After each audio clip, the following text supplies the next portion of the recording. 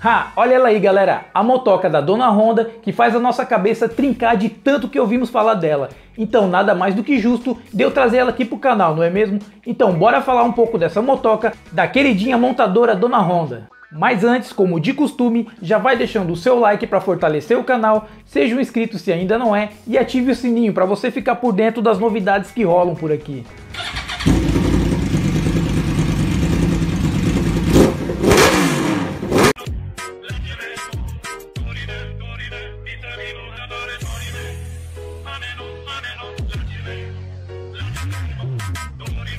Ah, acharam que eu ia dançar, né? Mas ó, mico a gente só paga uma vez. Fala família, Xande aqui. A Honda CB300 é uma motoca que veio para causar, e para muitos, para grande maioria, ela causou foi a raiva. Vocês estão ligados no que eu tô falando, né, galera? Vocês sabem o porquê, né? Porém, uma coisa que vocês não podem negar é que quando essa motoca chegou por aqui, ela fez um sucesso tremendo, e a dona Honda vendeu que nem água, engordou os bolsos igual o Silvio Santos. Na época, todo mundo queria saber que moto era essa que tomou o lugar da famosinha Honda CBX 250 Twister. E a montadora deu um tiro certeiro nesse lançamento. Pelo menos era o que a galera achava no início, né?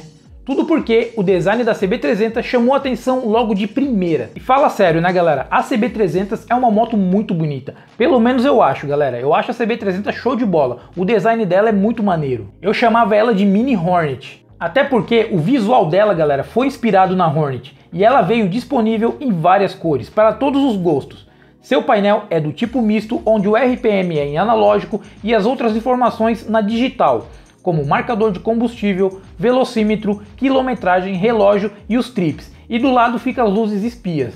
E ela chegou por aqui lá no ano de 2009, substituindo a Honda CBX 250 Twister, e se estendeu até no ano de 2015, onde ela foi substituída pela CB 250 Twister. Olha só que irônico, né, galera? E está até hoje no mercado. E nesse tempo em que a CB300 ficou em produção, ela ganhou quatro versões especiais, ou como chamam Special Edition. A primeira foi lá em 2012, a segunda já foi lá em 2013 e a terceira foi em 2014, que foi aquela versão Repsol, que foi muito vendida por aqui. A galera se apaixonou pelaquela versão Repsol. Eu particularmente não gostei muito, tá galera? Mas aí já é a minha opinião, né? E em 2015 ela ganhou a última versão especial, que foi aquela que teve as rodas pintadas em dourado. Essa daí eu já achei bem bonita, galera. Meu vizinho tinha uma e era show de bola. E vendeu bastante também por aqui.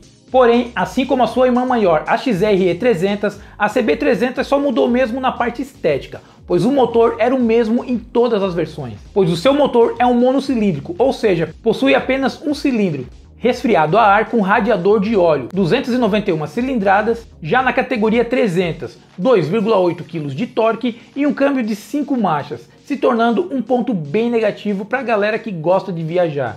Ficando um pé atrás da Honda CBX 250 Twister, que já possuía um câmbio de 6 velocidades e nisso a galera pegou muito no pé da dona Honda. Muita gente não gostou, pesando em ordem de marcha 160 kg, uma moto até que bem leve, galera. E tudo isso gera um top speed ACB 300 que pode chegar aos 150 km por hora.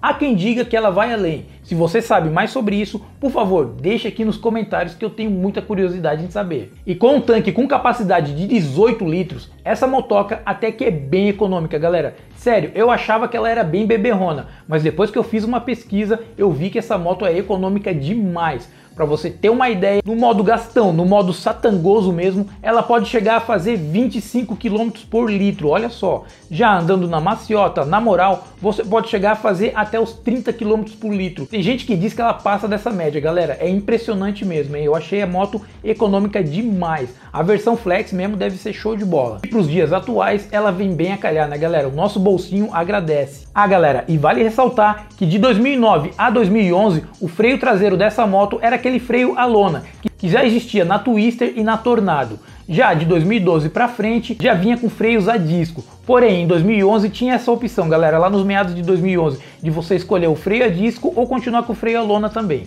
E lá em 2013, ela ganhou a sua primeira versão Flex. Pontos negativos sobre esse modelo, galera, é claro, é o famoso cabeçote, pois ele tende a trincar ao passar do tempo. Tudo porque, galera, em altas rotações, os seus pistões trabalham com muita força. E a parede do cabeçote veio muito fina. E ele acaba trincando, não aguentando a pressão. Dizem que os modelos de 2015 vieram com a parede do cabeçote um pouco mais grossa, porém não resolveu o problema, galera. Continuou trincando. Ele é um pouco mais resistente, mas ele trinca. E isso fez com que essa motoca ganhasse uma má fama e fez com que ela ficasse muito desvalorizada. Porém, na minha opinião, galera, vai muito é do cuidado do dono. Se você forçar muito a moto mesmo, andar arregaçando o motor, é óbvio que não vai aguentar mesmo. Não dá seis meses ali, você já tem que trocar o cabeçote. Porém, se você andar de boa ali, manter os cuidados e a manutenção em dia, galera, eu tenho certeza que vai demorar um pouco para trincar esse cabeçote aí, hein? E se você pretende adquirir um modelo desses, tudo depende do ano e do estado de conservação, pois ela pode ser encontrada entre R$ 6.500 a 12.500 reais, um preço até que bem razoável, galera. Enfim, a Honda CB300 é uma moto muito bonita, confortável e ótima para você fazer as correrias do dia a dia pois ela é muito econômica e habilidosa. Tirando a parte do trincar cabeçote, galera, essa moto é show de bola, tá? Eu já andei com uma, ela tem um torque forte apesar de baixo e é uma moto, cara, esguia. Pro seu dia a dia ali, pra correria do dia a dia, ela é show de bola. Então não discriminem essa moto, galera, pois ela vale muito a pena, é só você ter o cuidado, beleza? E então, galera, o que você tem a dizer sobre essa motoquinha da Dona Honda? Deixe nos comentários a sua opinião, que é muito importante aqui para mim. Compartilhe esse vídeo e o canal com os amigos para que ele possa crescer ainda mais com a sua ajuda. Te vejo no próximo vídeo, bons ventos e valeu, falou e tchau!